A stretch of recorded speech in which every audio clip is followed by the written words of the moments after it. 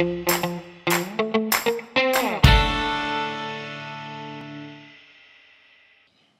guys, in this tutorial I'm going to show you how to do a horizontal parallax scrolling effect. So this is what we're going to do today.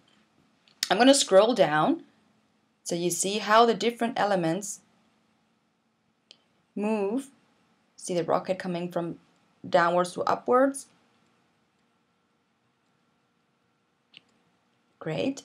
And I've also added these circles here that have anchor links. So it means that we can jump back here, jump back to the rocket, and it will keep the effect. Pretty cool, huh? Okay, so let's get started.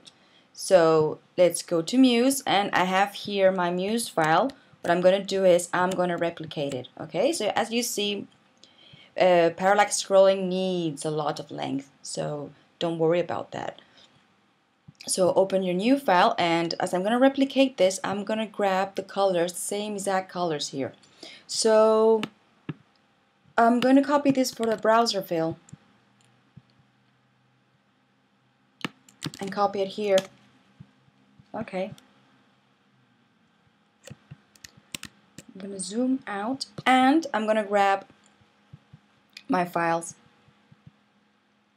Okay, so I've got my assets here, so I just have to drag them here and start clicking.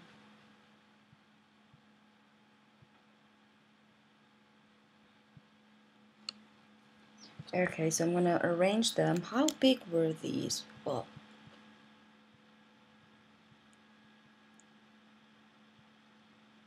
466, okay. So, this planet was first.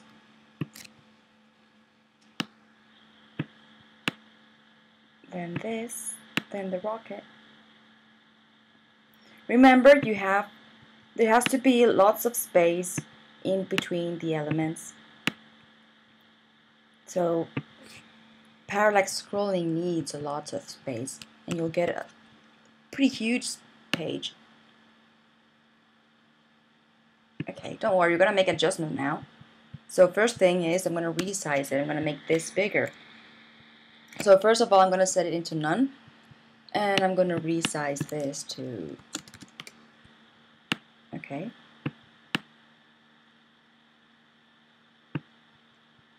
So I'm going to resize the rest of the elements.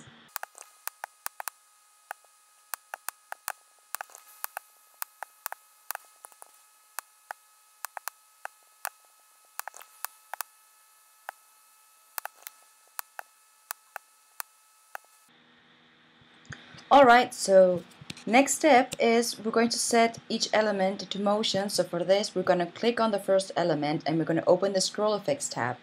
Oh, sorry. It's a new file, so the um, this should be shouldn't be fluid width. Okay, it has to be uh, has to be fixed. So you just can right click over the bar and then you know deselect this. So first thing we have the planet and we're gonna click here in motion so what I want this planet to do is, um, let me think, I want it to come from the top. So I'm going to set the speed to 1 and 0. So the thing is that uh, the initial motion is the movement before it reaches to this point, 65 pixels. You'll know this point by this T-bar over here. Now 62 because I moved it. And final motion is what's going to happen with this element after it reaches to this point. So here it is. So I want it to come from up, go down, speed 1, and same thing here. 1 and set to 0. Going for the next one, just going to bring it a little bit down in just in case. And set into motion, and I want this to come from the right and to go left so this means I have to click on here. This is set to 0, 1, and this is like that. Okay, so I wanted to have the same, yeah. the same direction. So I'm going to preview this to see how it looks like.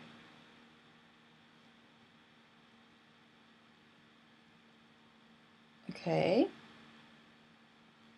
Well, actually, the rocket looks pretty good. I think I don't I don't have to set any motion to the to the rocket because I want it to come from you know from down to up, so you don't really need any motion there, but the telescope does, and the alien, yeah, I think the alien does not need any, so it's looking pretty good.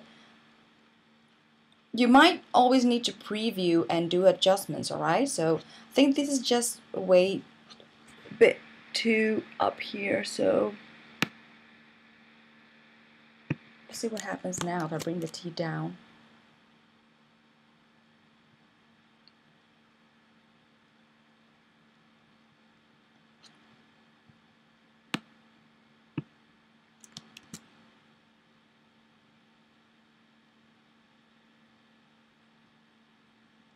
Okay. I actually want the T to be, I mean the planet to be visible at first.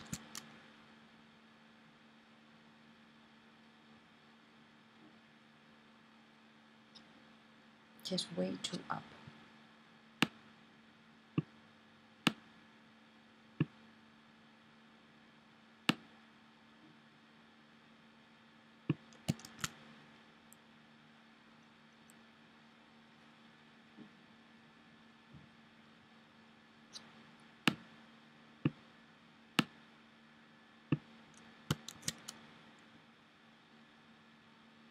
Okay, so bring it down and rocket comings, oh these are too close, so this means they have to bring the rocket a bit down.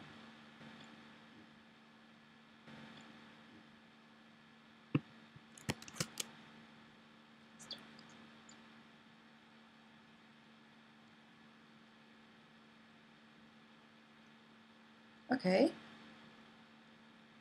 Yep, pretty good.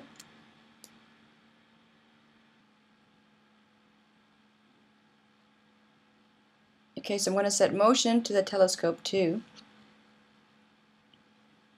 So I know that I'm going to bring this a little bit down and I want this to come from the right to the left and same thing over here. So let's preview this. right from the top.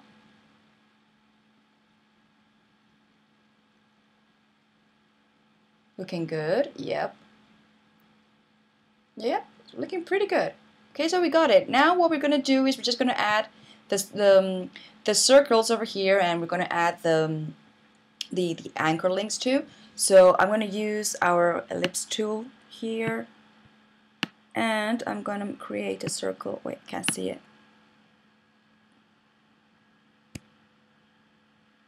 Okay, I'm gonna give it some, mm, let's fill it with this color. Okay, so I'm gonna get this to It's a pretty small circle.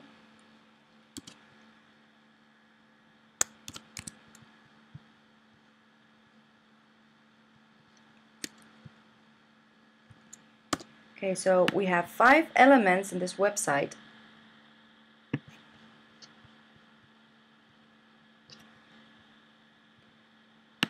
So I'm just going to have to copy these. Sorry.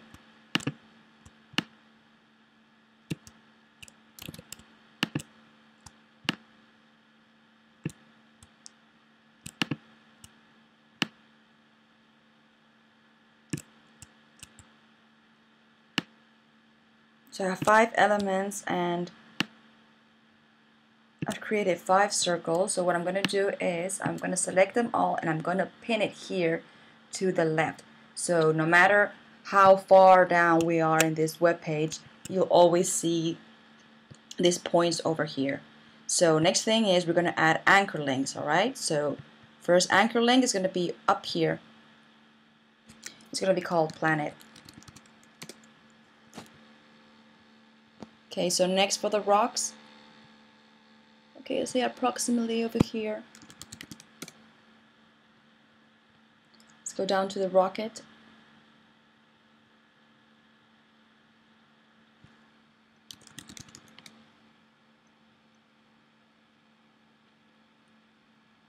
We get the telescope.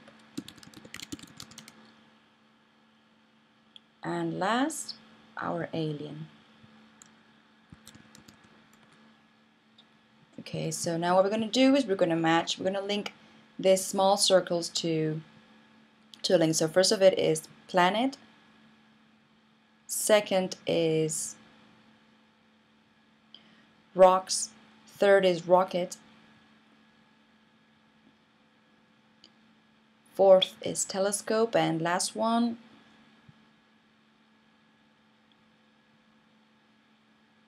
It's the alien. Okay, so I'm going to preview this now and I'm going to make the adjustments. Okay, so see I'm scrolling down but I can see you can see the circles over here.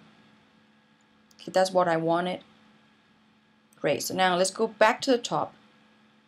Great, let's go down. Great. Okay. Okay, so now if you want it, what you could do is, if you're not happy because maybe, you know, for example, the, the rocks are not centered enough and you want them like a bit down here, then what you have to do is you have to start moving your, your anchor links. So let's see again. Let's check it again. Okay, so you see it has moved a little bit. Okay guys, so this is how you get an horizontal parallax scrolling effect. Hope you liked the video. If you have any comments or doubts, please comment this video. Thank you guys for watching.